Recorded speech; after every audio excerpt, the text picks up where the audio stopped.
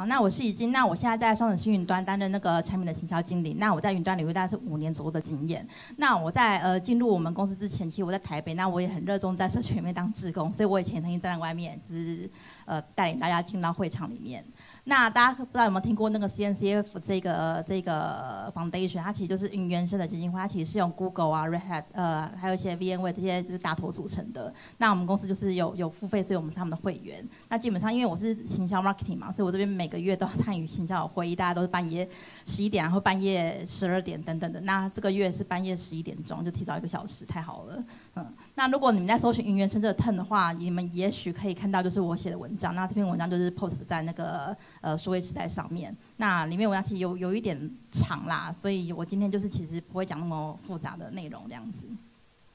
那什么是云原生呢？基本上，云它就就是云端加原生这两个字的组合。那就是说，它是在云端架构上面建立出来的一个服务或者是应用。也就是说呢，就是从一开始我们在进行我们软体或是呃服务在开发的时候，我们就必须要以云端架构来做一个考量。那我今天讲这个主题，它可能就是比较比较通识啦，所以可能不会讲到像上个主题就是那么技术的的部分这样子。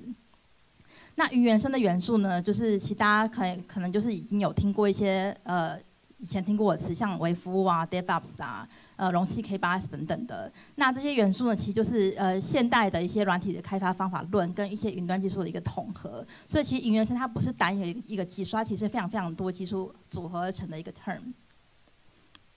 那这边其实可以看到，说从以前到现在，我们软体开发的演进，以前像以前我们在做开发的时候，可能就是 waterfall 嘛，然后可能就是全部都在一个单体机的架构里面去把我们的所有的服务啊，我们的呃城市嘛，全都放在同一个城同一个呃机器里面。那这机器可能就是 virtual server，那后来可能进化成 VM，然后现在又进化成 container。那一那一样在我们这个开发流程当中，以前 waterfall，然后现在 stepups。那以前可能是直接放在一台机器下面，现在可能进阶成 microservice 等等的。那也 application 的的的那个 infrastructure 来说的话，以前可能就是自己的 data center 嘛，然后后来可能就是把你的机器交给人家代管，就是 hosted 的。那现在就是都是在上云端了。那其实呃现代化，其实大家就可以看到 DevOps、microservice 或者 cloud 这几个，其实都是刚刚讲的那个呃云原生的那几个常见的一些名词。那 CNCF 怎么说呢？就这个组织，它就是创造原生。这个词的一个组织嘛，它的意思就是说，云原生呢，它其实就是有利于呃一个组织或者企业，它必须要把它的服务放在公有云或私有云的一个环境中。那它的这个服务呢，它其实是呃可以弹性拓展的一个应用。那这个这个词这个定义呢，其实大家都可以上 CNCF 的那个 GitHub 里面，它其实里面都有做一些定义。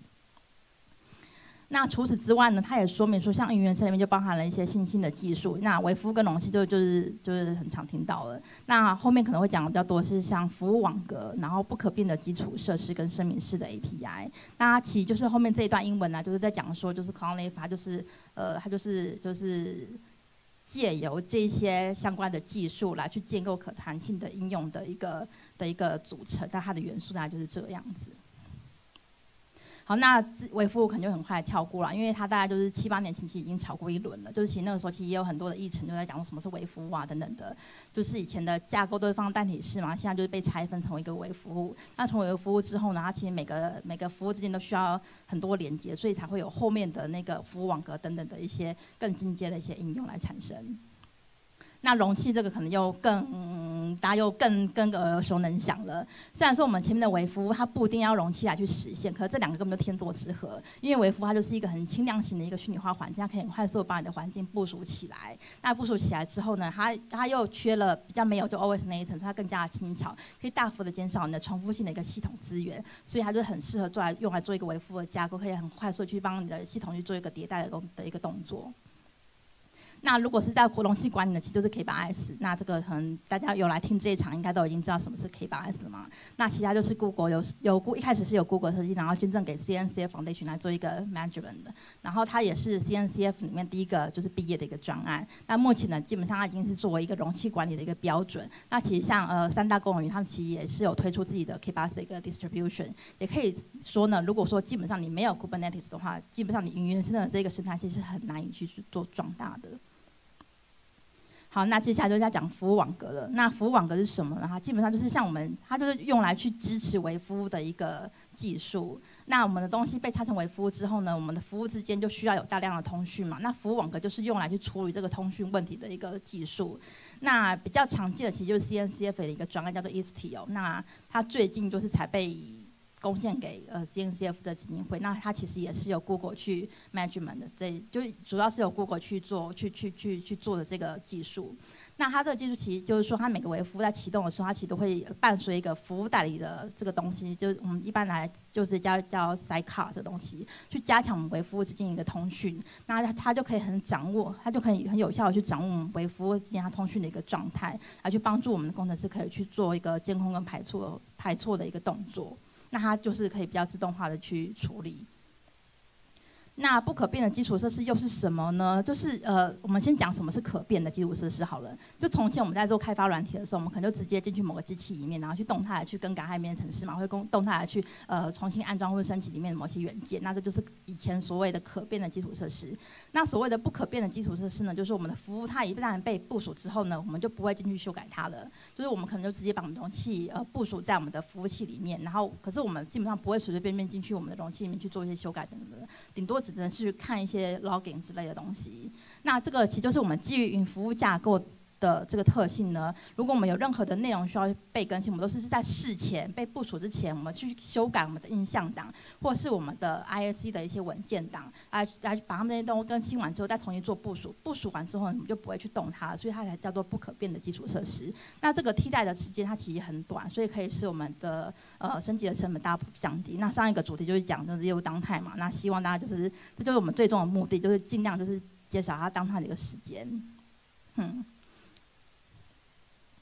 好，那最后一个就是声明式的 API 了。那什么是声明式的 API？其实这比较少见啊，就是在那个五大元素里面，这个是最少被提到的一个。那所谓的呃声明式 API，其实是相较于指令式的 API 的一个的一个名词。那指令式 API 就是我们一般来就会去下一些指令啊，比如说我要做 create 什么东西，我要 update 什么东西，我要去 delete 什么东西等等的。那这就是我直接告诉电脑说我要去执行什么，并且一步一步下达指令来去达到说我想要完成的一个状态。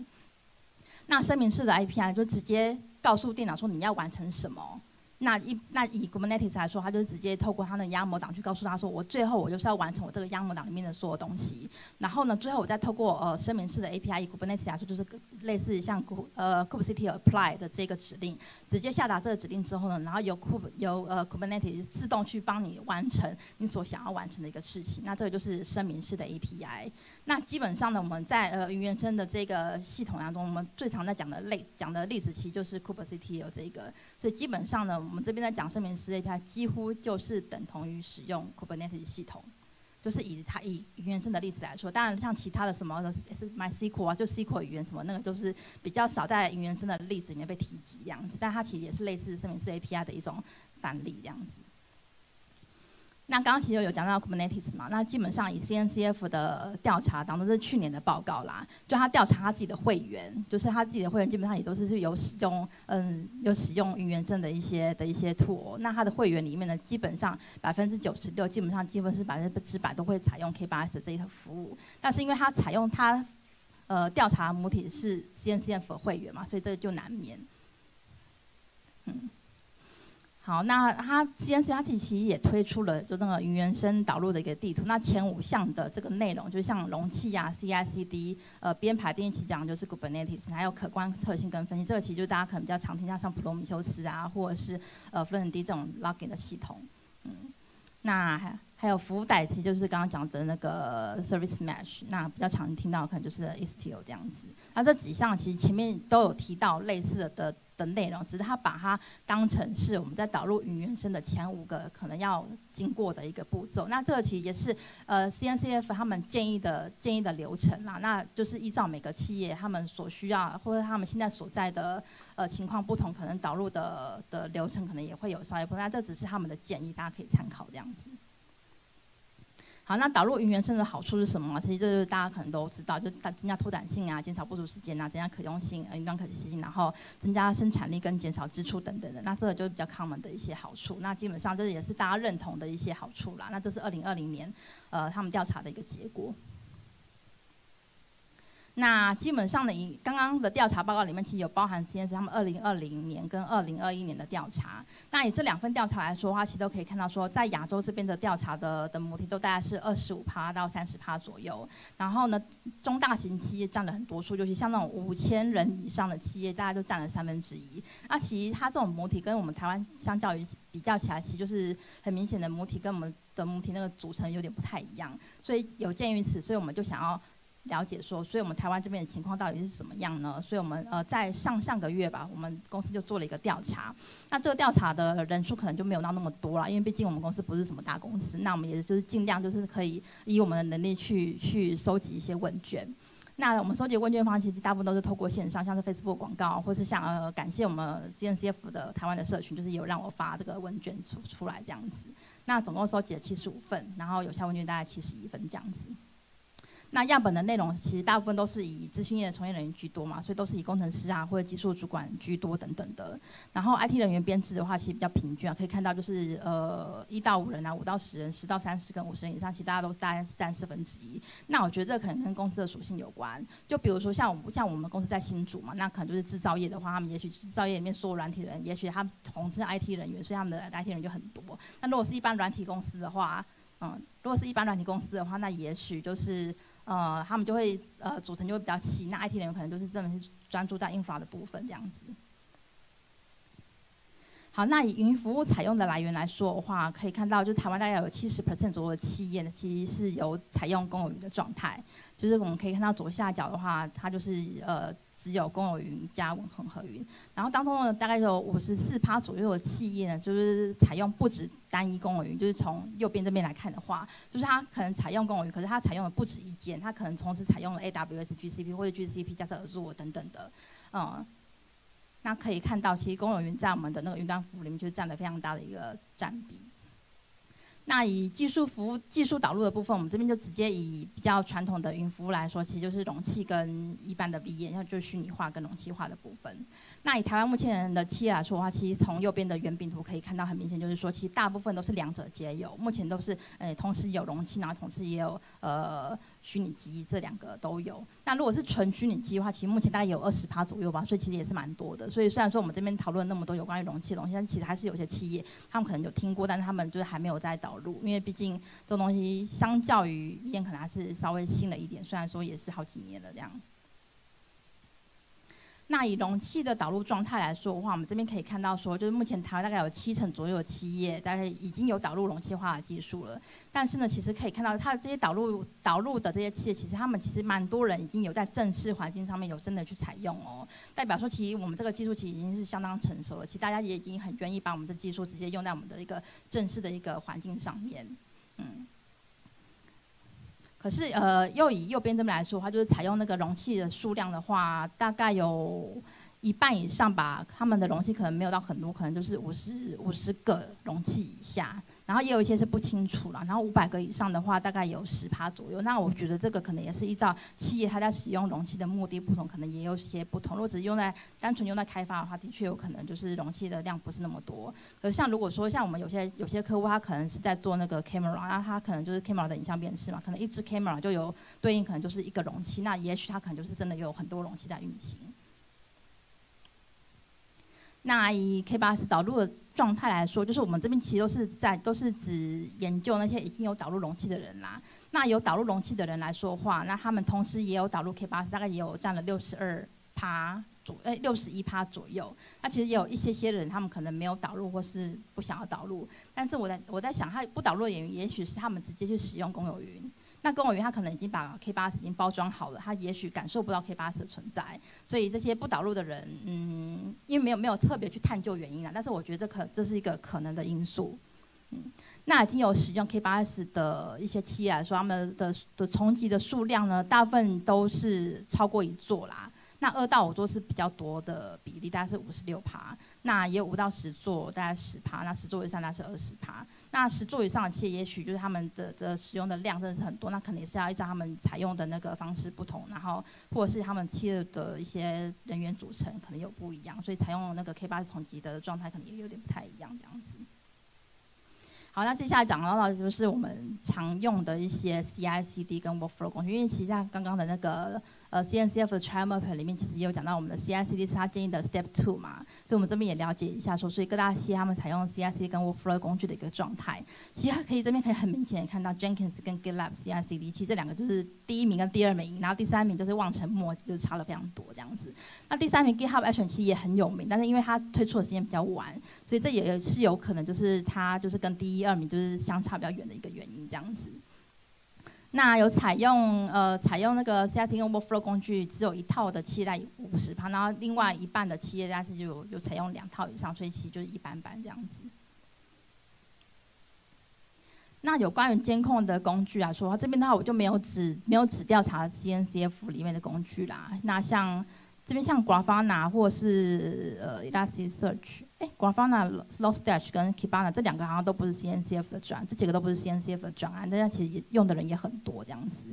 那这边可以看到比较常见的，大家就是比较常听到 Prometheus 啊、Grafana 这两个就是使用的人最多。那以同性质的 Grafana 跟 Kibana 来比的话，就是 Grafana 很明显比 Kibana 多了非常非常非常多这样子。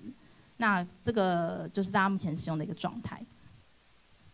那如果单纯以 CNCF 里面的专案的采用度来说的话，其实有，因为普罗米修斯它本来就是 CNCF 的专案嘛，那就很明显它是第一名。那第二名就是 Ham，那 Ham 它其实就是那个做那个 K8s 部署包装的一个工具，就是假设说你有很多很多的亚模档。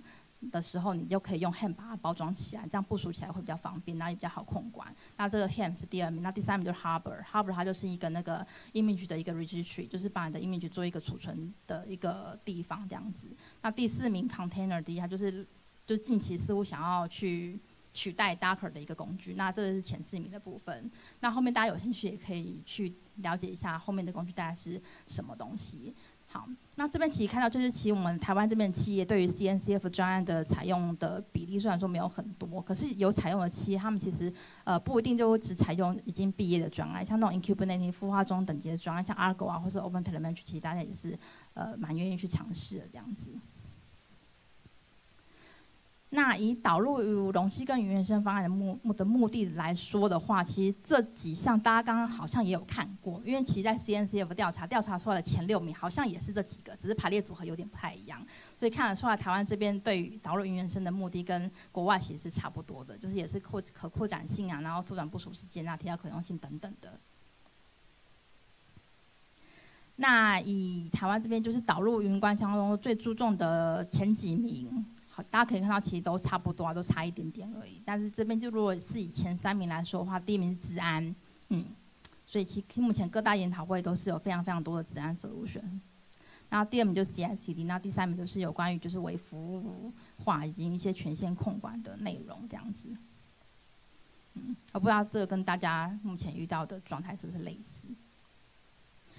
那目前就是大家觉得在导入容器跟云原生技术的一些挑战，前三名就是复杂度、自然跟。呃，文化的改变嘛，那复杂度其实大家刚其实主持人也有提到说，目前就是各家企业他们可能是依据不同的情况，他们导入的情况可能也不一样，导入的拓也不一样，那东西就很复杂，所以大家就觉得复杂度是第一名，那再来就自然，那刚刚自然其实刚刚有提到说，他们最注重的其实就是自然嘛，所以第二自然第二名，再就是开发架构跟文化的改变，因为毕竟导入云原生它其实就是。它本身其实就是一个架构跟文化改变，那也因此对于你自己企业本身的架构跟文化，当然也是会有有所影响这样子。所以这是我们目前台湾这边的前三名的一个技术挑战的一个状态。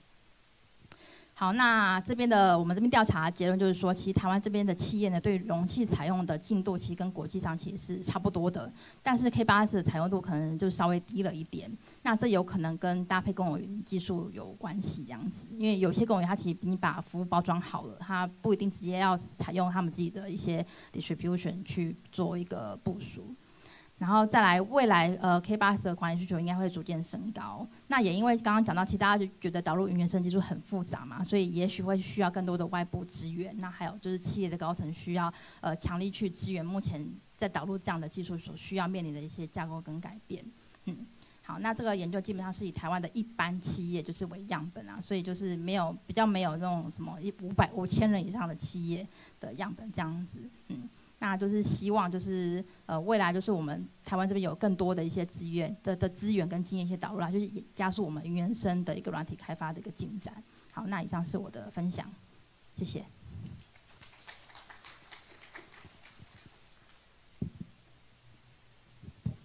哎，好，感谢怡静的分享。那不知道大家有没有对刚刚的演讲有什么 Q&A 想要询问的？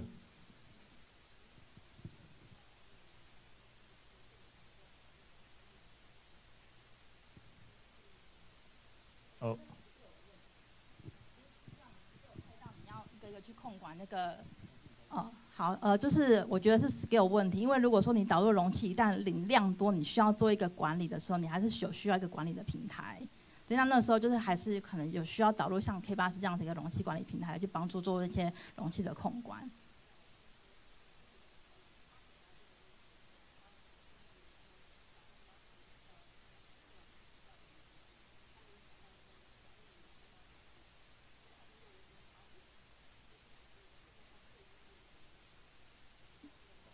我觉得也也是有可能，因为其实刚刚我们调查其实看到，其实很多人他们导入的容器量其实也没有到。很多，那音量对呀，他也是就够了，嗯。